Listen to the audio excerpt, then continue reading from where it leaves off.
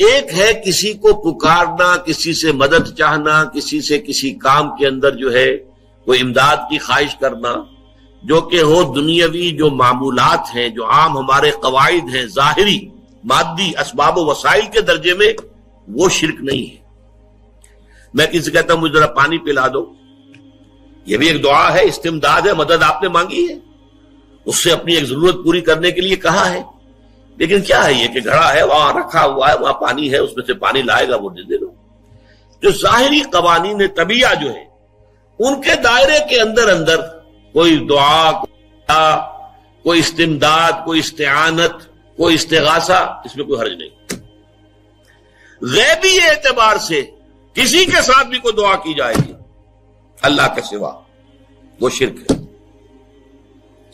वो इस्तदा हो इस्तेगासा हो इस्तेहानत हो, इस्तेमदाद हो, इस्तिनसार हो, कुछ भी हो, गैबी तौर पर।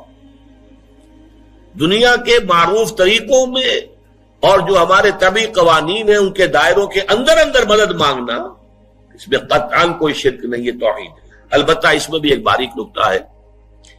एक बुज़ुर्ग थे जो फौत हो गए, उन्होंने ये बात मुझे जिस तरह समझाई थी, वो आज भी मैं उनका मशहूर हूँ। का दुनिया में आम कायदे कानून के तहत भी किसी से कुछ कहना कि भाई मेरा ये काम आप कर दीजिए, आप कर सकते हैं। एक दफ़ा कहना जायज़ है।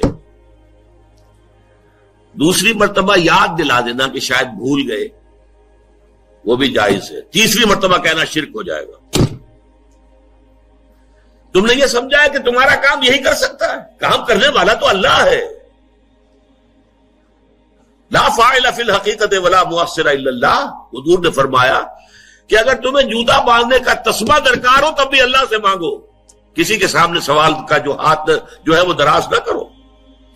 अल्लाह ने तुम्हें एक इज़्ज़त नफ्स दी है, उस इज़्ज़त नफ्स को ढेला ना बनाओ। किसी के सामने जो है अपना हाथ फैला देना, अपनी इज़्ज़त नफ्स जो है तो खत्म कर देना है।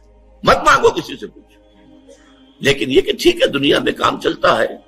हजूर का शक्की शान तो यह थी कि अगर आप सवारी पर होते थे और आपकी छड़ी गिर गई तो सवारी को बिठा के उससे उतरकर छड़ी खुद उठाते थे। आप किसी अपने साथी से ये नहीं कहते थे कि मेरी छड़ी पकड़ा दोगी। आपकी तो गैरत का आलम जो है वो बहुत बुलंद था, बहुत बुलंद था, बहुत बुलंद था। लेकिन दुनियावी आम तरीके से ये कि ठीक है भाई, आप एक काम है, आप कर सकते हैं, ये कर दीजिए। उसने कह दिया, ठीक है, मैं करूँगा, फिर भूल गया या कुछ और हुआ। दूसरी मरतबा याददानी करा दी। तीसरी मरतबा जो है, उन्होंने कहा कि फिर उसमें शिरक की बू आने लगती है। ये मालूम होता है कि आपने समझा है कि इसी को इख्तियार हासिल है, यही मुख्तदिर है। इसी को आपका काम करने का जो है, वो पूरी कुत और कुदरत हासिल है और ये चीज़ जो है, ये शिर की बू उसमें से आनी शुरू हो जाती है। लेकिन यह है मामला सारा जो असबाब आदिया के तहत, उससे मावरा आप किसी को नहीं पुकार सकते। देखिए, सबसे बात नुकते की बता दूँ आपको। फरिश्ते को तो हम मानते हैं ना। हज़रत शेख अब्दुल कादिर जिलानी रहमत की रूह है या नहीं है, सुनती है, नहीं है, हाजिर है कि नहीं है नादिर है कि नहीं है, सौ इख्तलाफ हो जाएँगे।